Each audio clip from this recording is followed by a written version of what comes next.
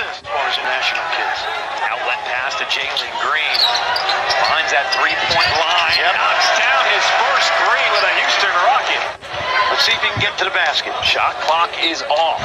Game clock is down to six. Jalen Green with hands on his hip. Yep. Hits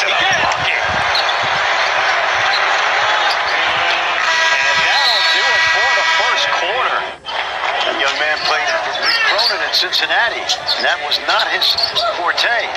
Jalen Green with a step back three. want to watch his playmaking playmaking ability. We know he can score. What does he do in pick and roll? Cut off by Stevens. But he's still fine.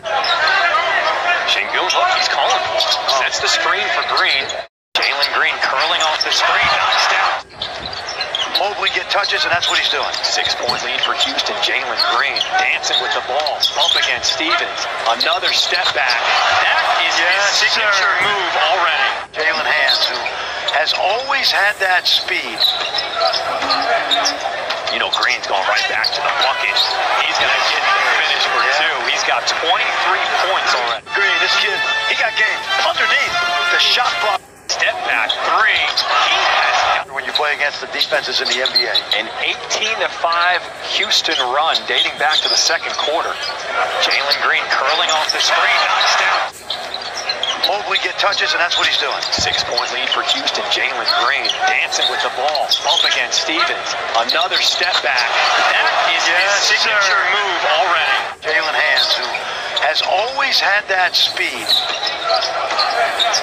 You know, Green's going right back to the bucket. He's going to get the finish for Yeah. two. He's got 23 points already. Green, this kid, he got game underneath the shot clock. Step back. Decisions, and you draft you draft a guy like this because the future's bright for the Rockets.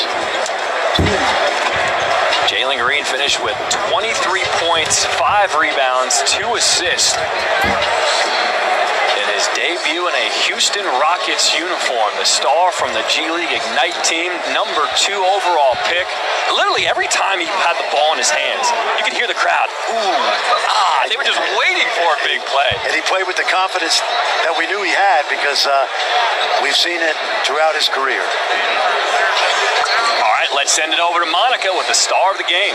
Jalen, 23 points, five rebounds, and the victory. What are you most proud of in your debut NBA performance?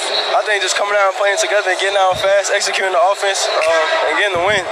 We ain't played in a minute. We only had a week of practice, and we got the dub. So we're gonna keep continuing that run. Down the stretch, back and forth ball game, going back and forth. I know as a competitor, you love that. Did you lock it Decisions, and and go to another level then? Uh, yeah. I mean, I feel like I can go higher than that level, but yeah, I got to my level today. Um, just gonna keep going though. All right, I have a burning question since the draft. Why the bell bottoms on the pants? I wanted to make a statement. Just I wanted to be excited on draft, and I want people to remember it. So I know there's gonna be good, bad comments, but it was the talk of the night, and that was the plan. All right, speaking of a statement though, Jalen, quite honestly, you are a living, breathing experiment in terms of what Team Ignite from the G League produces when guys make the transition to the NBA. How much do you think your experience with Team Ignite prepared you for the level of competition and the athleticism out here today? I mean, the ultimate goal for G League Ignite was just to be a pro and learn the game as much as we can before we headed up to the NBA. So I think we accomplished that. We learned how to be a pro on and off the court, and I mean, I think I showed it tonight too. What will you remember most from this win? From this win, um, just the chemistry. Uh, coming down and uh, it started a third. I just felt it. It felt exciting. Started hitting shots, and we just got on that run. So, And go to another level then. uh, yeah. I mean, I feel like I can go. Yeah. All right, we got to talk off here. I want to know what you use in your hair. Thank you, Jalen. This is what I, what I use in my hair.